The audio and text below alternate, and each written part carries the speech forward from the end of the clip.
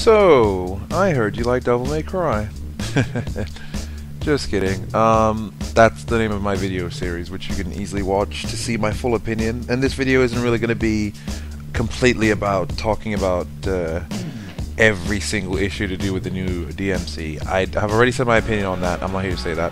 Uh, what I am here to talk about is all of the reviews are in uh, for the new DMC, and it's done. I'd even say pretty freaking well. It's done pretty freaking well. It's gotten a lot of nines, you know, a lot of 90%. Uh, it's gotten quite a few eights, uh, and it's done really well critic-wise. Metacritic, uh, I think, stands at 85% for that right now.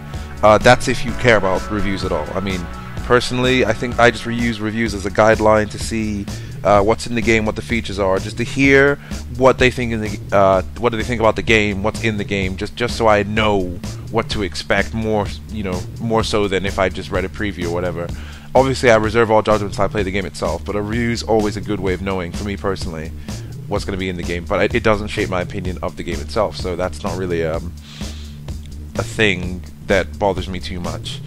Uh, so, because obviously my prejudice about the game slash what I'm looking forward to in the game uh, are completely an aside when it comes to how I actually enjoy the game itself. Simply because if the game is a fun game, I'll still enjoy it, and if things turn out alright, then it's fine. And in fact, that's what this whole um, podcast is about. And I'll even just start by saying, when I look at my view on it, when I look at sort of the way things have gone from what I've seen of it, personally, it just sort of feels to me that the game in and of itself seems very. It seems like a good game.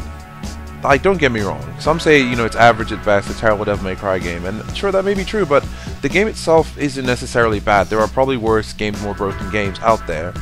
Uh, and if I could put the writing of the game aside, because the writing is kind of bad. In some cases, the, the liners are cool, but most of the one-liners are just kind of bad.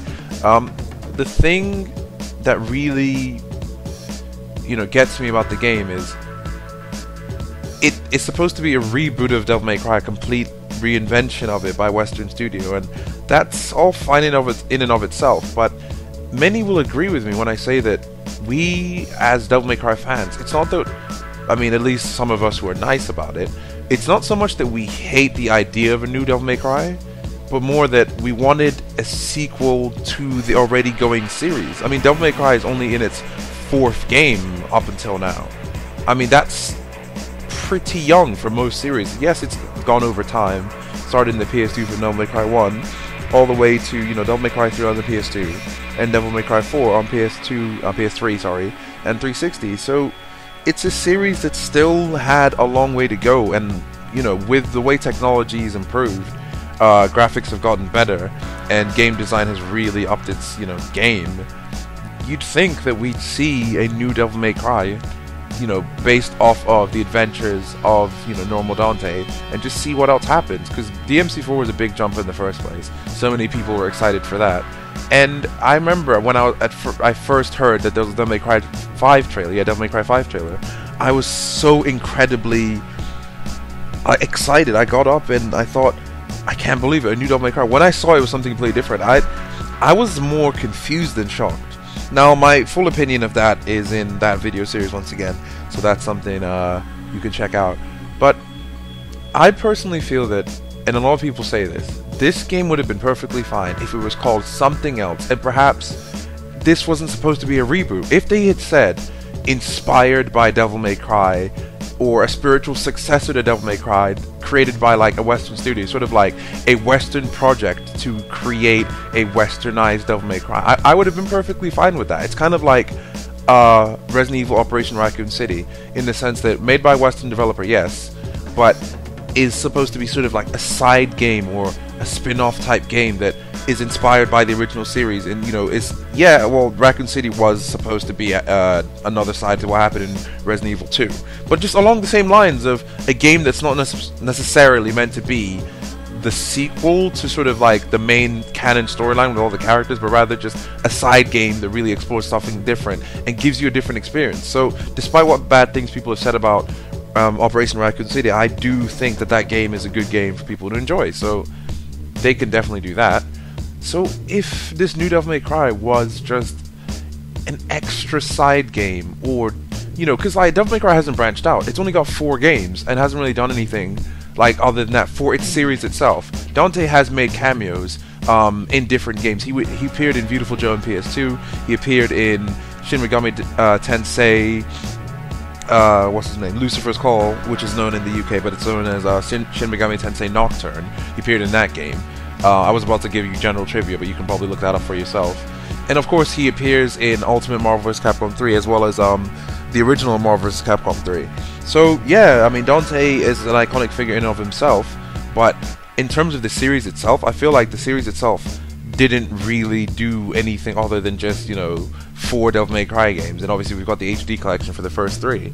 So I thought that they'd probably do something different. So when I heard about this new one and I found out it wasn't Devil May Cry 5, I thought, oh, maybe this is supposed to be some sort of experimental side game that they're meant to, you know, branch off with or something. But the fact that this is supposed to be a westernized remake of an already good series, I just I don't really get that. I mean, Resident Evil is still going strong. Resident Evil 4 was was great, obviously by, way back when. 5 was great, and 6 was great, despite, you know, what people say. I think 6 was an enjoyable game. A lot of people enjoy 6, right? And 6 is still, you know, made by, directly by Capcom and is still in line with what Resident Evil has done. So, I don't really understand why Devil May Cry didn't deserve to have a direct sequel like a, a Devil May Cry 5. I mean, and this is where I get to the part where I think that this side story, this sorry, side story, this reboot, which I, I feel like I said I feel like should have been a side story. I think that this reboot perhaps could have just been a different take on the Devil May Cry series. I mean, keep the gameplay, keep the graphics, keep the story, every, keep everything intact, but make it more like it's not this is the new Devil May Cry and this is the start of a new series or this is the reboot, or or you know ma- make it more along the lines of this is, you know, a different a retelling of an already known tale about you know a demon hunter who's half demon or whatever. I think that probably would have been quite interesting, and I think it would have been a good game. So that way you can sort of like buy it or avoid it. Obviously, I'm just renting it personally. Uh, gonna enjoy it for the gameplay, graphics, and hopefully story. But it, it doesn't. It, it's not a good feeling as a Devil May Cry fan knowing that the Devil May Cry as I know it will not be coming back. And I don't mean in the sense that they're gonna be remake. I, I would have want them to remake anyway. Just you know a game similar to three or four. Like just a, a new game altogether would would have been nice. I would have been happy with that. This new game, yes, you know, new gameplay, and uh, they've really sort of changed the style of how it works. And the combat system is solid. I wish I had more time to explore it um, after playing the demo. But it just feels like because we have this, Dante as we know it is gone completely. I mean, the old Dante is gone completely, and I'm not one of these people who, who beats up on the new Dante for all of those reasons. Although the all of the usual reasons that is, but although it does bother me a lot for several reasons.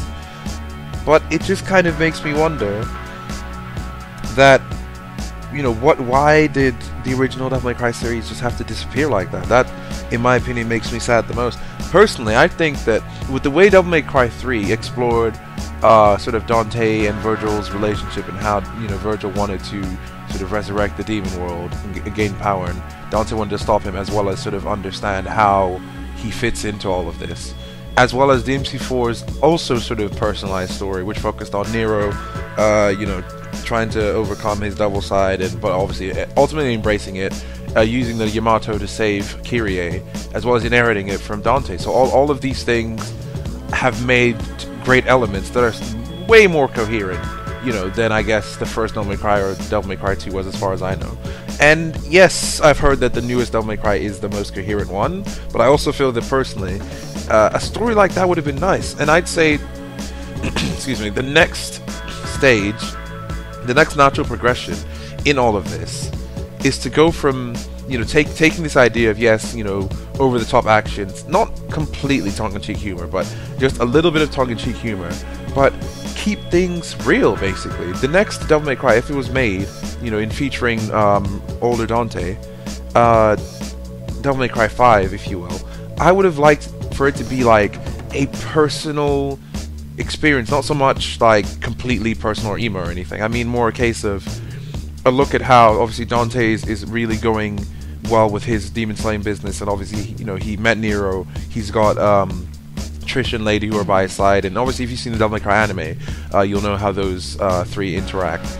But it would have been interesting to see how obviously Dante's grown so strong, he's done so much. So perhaps what if all of the biggest demons of hell are coming after him? Not sort of like all of these bosses who, in a way, seem kind of big but don't really end up like that, but sort of a really large scale thing. Think like Bayonetta. Think like they they basically gather together a council of like the the strongest demons possible in hell. They all come together to say, you know, Dante, this has gone on too long.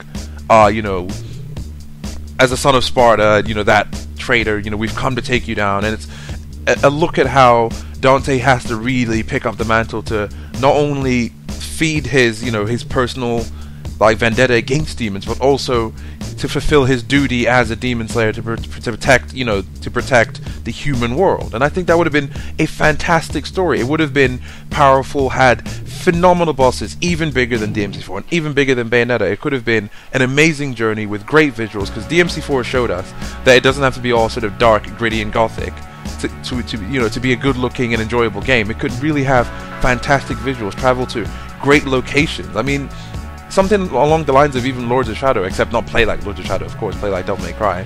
You know, a journey where Dante really has to, you know, not only think about his own mortality and think about his his demon lineage, but basically decide to, you know, stand on the side of humanity and decide decide to really fight against the demons and and you know put down the you know the grand demons once and for all. And of course, new demons will still come, and it's like the, the running theme is that you know work is never over. Uh, you know Dante and the demon hunters, you know Lady Trish, they always have stuff to do. Maybe even a cameo from Nero would have been nice, like Nero, probably older or something like that.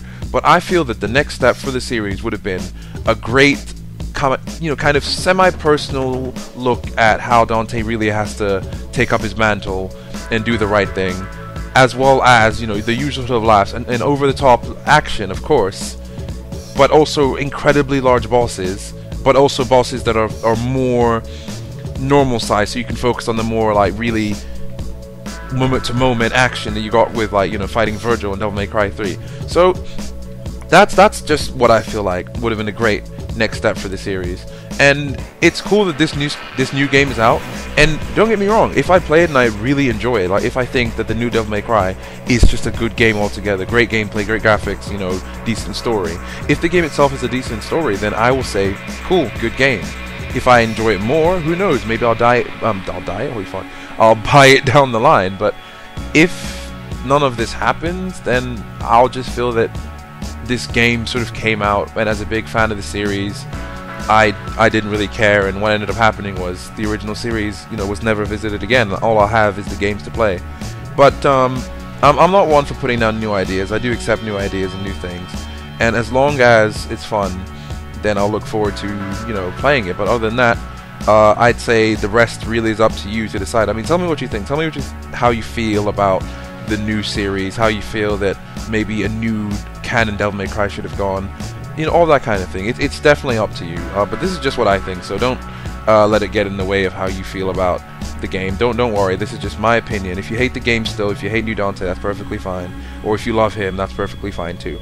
Um, you know, I always say that uh, the choice is yours when it comes to these kind of things. So yeah, that's pretty much it. That's my opinion. Um, yeah, you know, like, comment, share, and uh, just you know, tell me what you think of the full game. When, maybe when it comes out through Facebook or Twitter or whatever. You know, hit me up and all that. So yeah, this has been JST, uh, your man Joseph Tuna. See everybody later.